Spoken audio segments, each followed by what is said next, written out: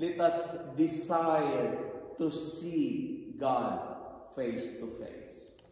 Daily Gospel Reflection with uh, Father Jhack. Friends, brothers, and sisters, nothing can stop God's plan for your life. Reflect and be blessed.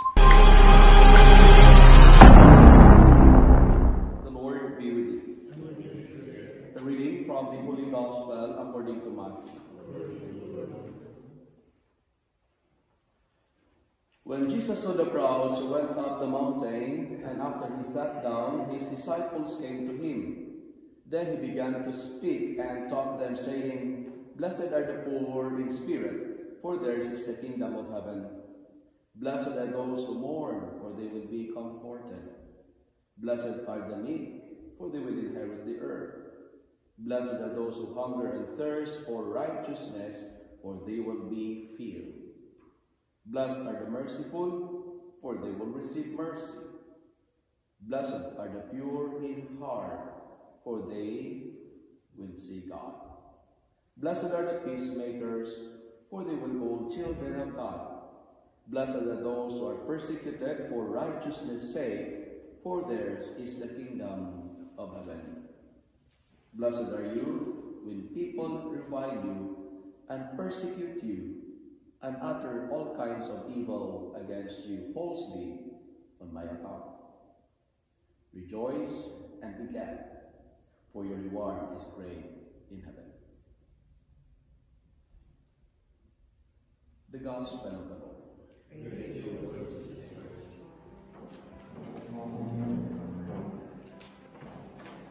Good morning, my dear friends.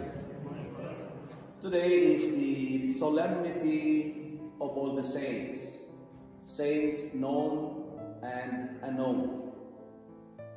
And the solemnity of all the saints, or All Saints' Day, reminds us of who we are and how bright our future will be.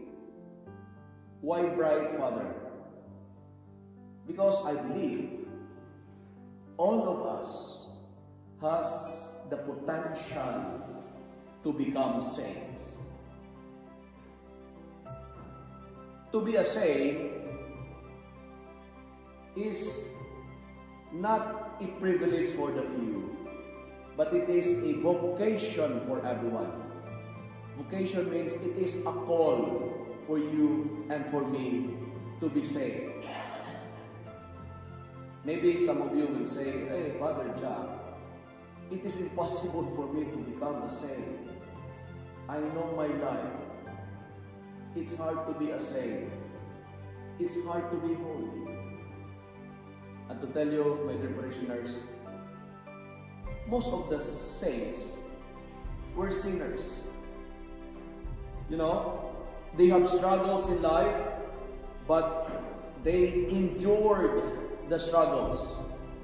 They have their own personal weaknesses, but they grow from strength to strength.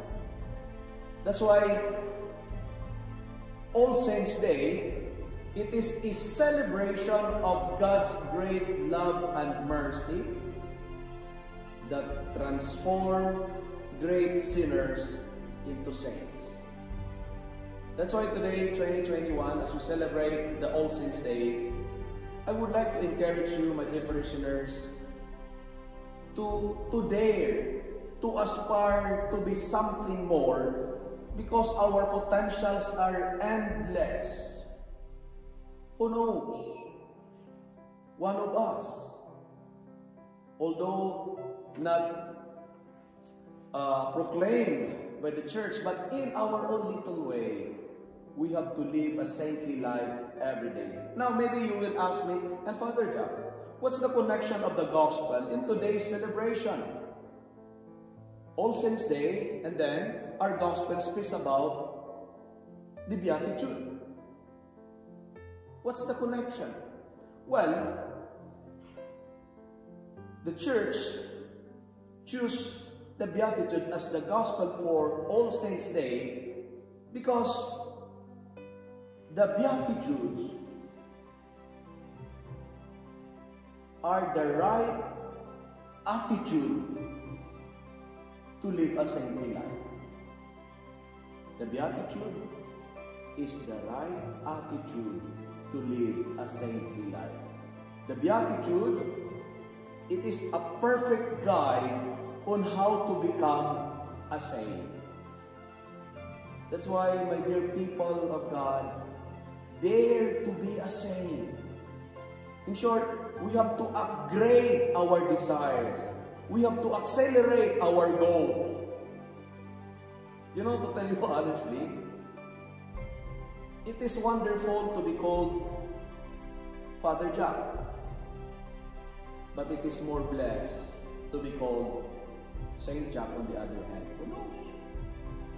Try to listen to your name as I mentioned it one by one, you know? Can you imagine you will be Saint Jhack? No? Saint Norbert, Saint Marie, Saint Yvette, Saint Maria, Saint Joseph. Can you imagine yourself Saint Lisa?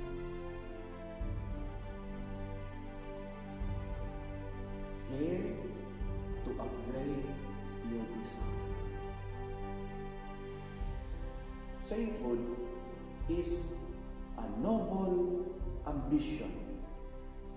Desire for it. Because saints were ordinary people like us. And to tell you, nobody is born a saint. It is something you have to become. No one is born a saint.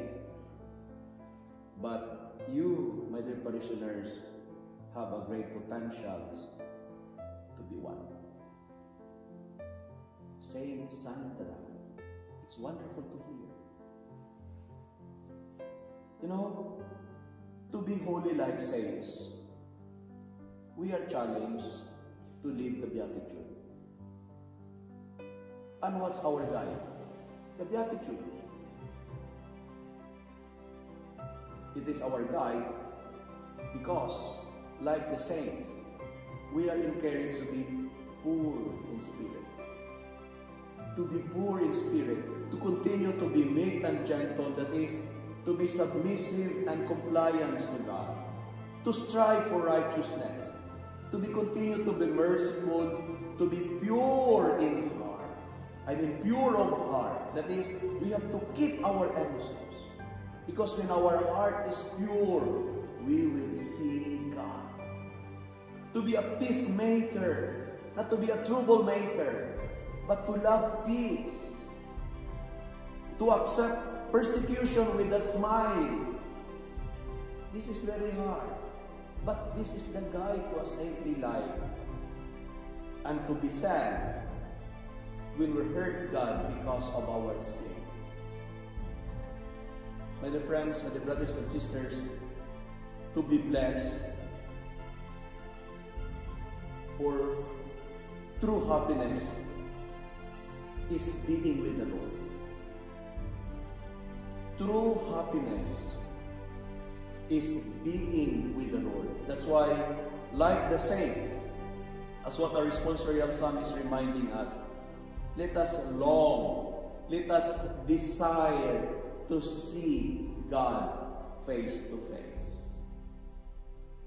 To seek God face to face must be our joy.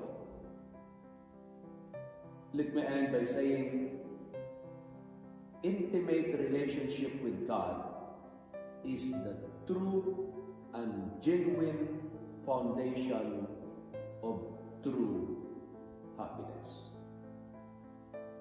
The Beatitudes is our guide to a saintly life because the Beatitude must be our right attitude.